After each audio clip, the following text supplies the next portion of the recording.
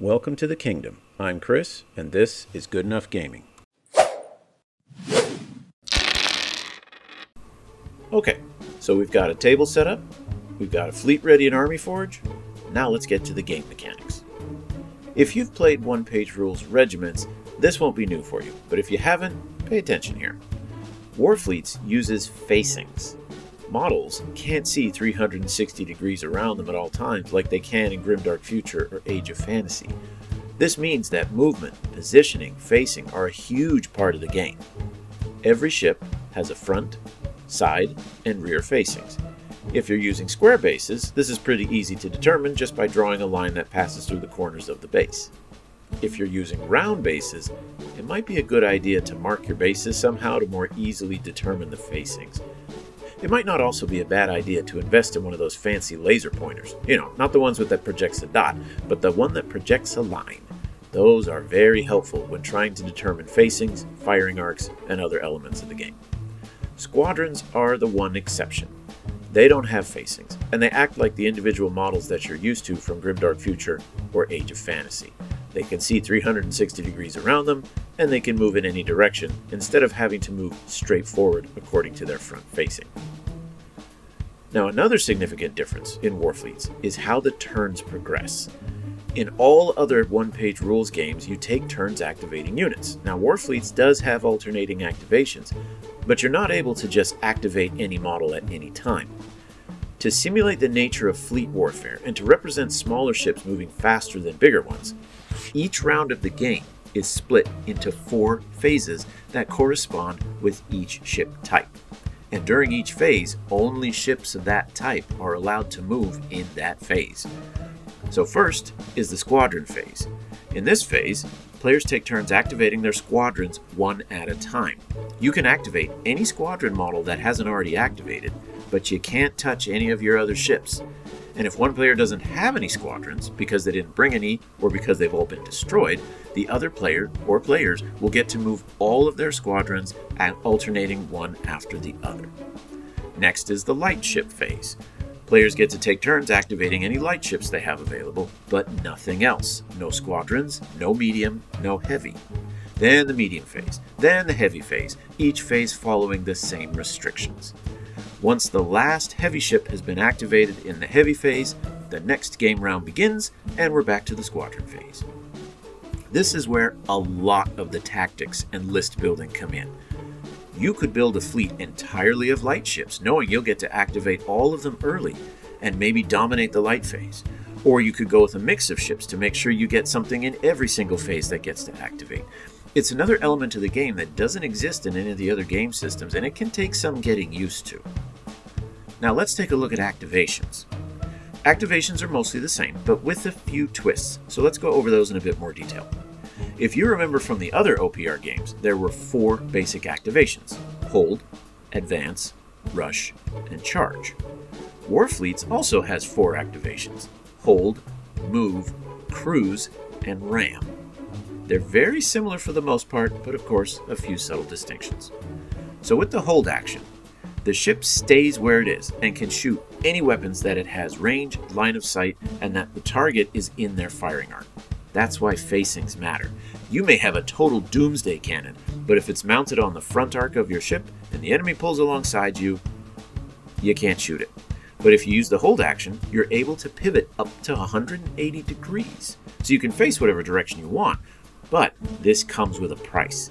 Ships that sit still become easy targets. So if you choose a hold action, it means for the rest of the turn, that ship will be hit by all other ships on a 2 plus.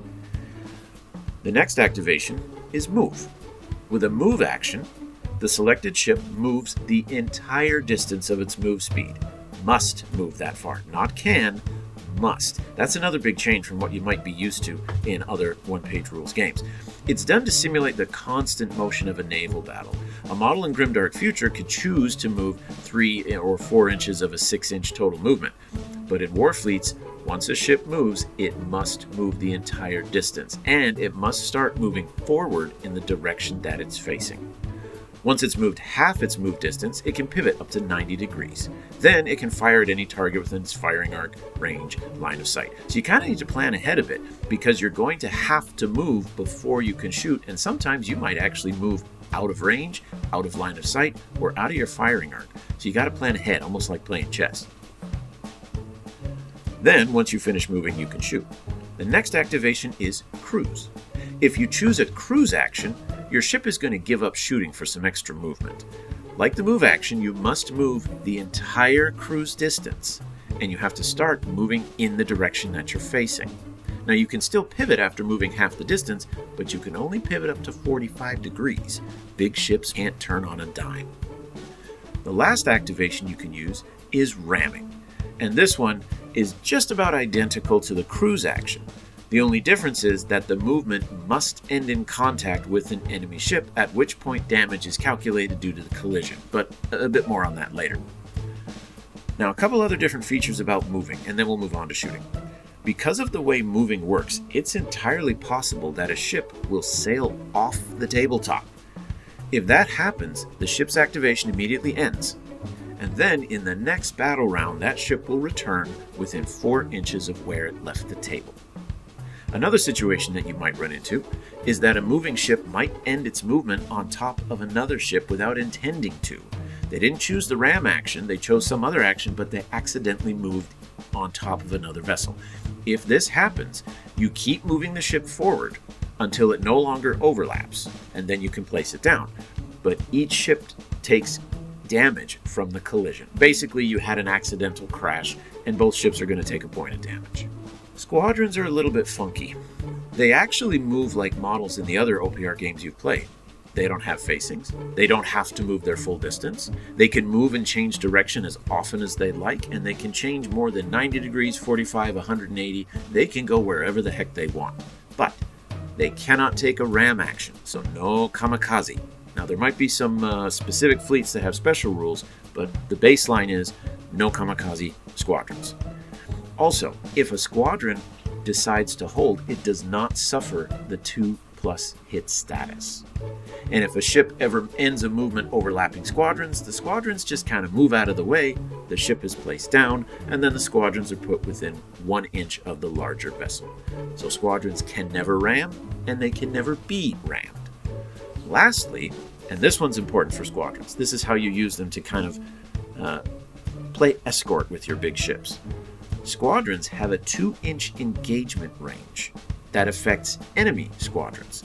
So if you start a squadron activation and there's an enemy squadron within two inches of you, you can't move. But neither can they. The two of you are basically now engaged in a dogfight, and you got to duke it out until one side comes up on top. So if your opponent is sending a fleet of bomber squadrons over to you, you can send out a, uh, a fleet of fighter squadrons to literally tie them down. Okay, so now that we've moved, it's time to put those naval guns to good use. You follow pretty much the same process as with Grimdark Future or Age of Fantasy. Declare your target for all weapons on the ship. You're not allowed to pick and choose and see how one does and then decide for the rest. Declare everything at once. Then, measure to make sure your targets are in range, line of sight, and facing. Do recall, though, that your turret has a 360 degree firing arc, but everything else on the ship is going to be fixed to one of your four facings. Then, Grab a number of dice equal to the attack's characteristic of the weapon you'll be firing, but instead of rolling a quality like you do in other OPR games, your opponent will tell you what their target's evasion stat is, and that's what you need to roll to hit. Typically, smaller ships have a higher evasion since they're so much faster, and the big heavy ships have a low evasion because they're so big and ponderous. If the target, though, used a hold action, it doesn't matter what size they are or what the evasion skill is, they get hit on a 2 plus. Now, once you roll your attacks, your opponent will now roll one dice for each hit, and they try to score their ship's toughness. Think of it like rolling to see if the shot bounces off the armor or if it actually punches through the armor and damages the uh, ship inside. The toughness roll is modified by the strength of the weapon being fired, very similar to how armor piercing or AP modifies the defense roll in Grimdark Future and Age of Fantasy. Also, like all other OPR games, a 1 always fails and a 6 always succeeds. Now once you've gone through that process, for one weapon, you repeat it for every other weapon that has a valid target.